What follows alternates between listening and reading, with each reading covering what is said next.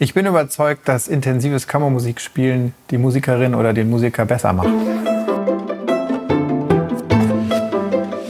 In welcher Beziehung zu den anderen Stimmen stehe ich? Wie ist das Stück gebaut?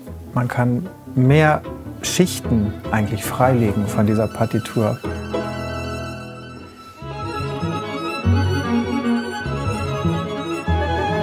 Etwas Neues zu erfahren, nicht nur über die Musik, sondern auch über sich, auch über die Kollegen das ist unheimlich spannend. Man muss sich öffnen nach innen und nach außen und man bildet mit anderen zusammen ein neues Instrument.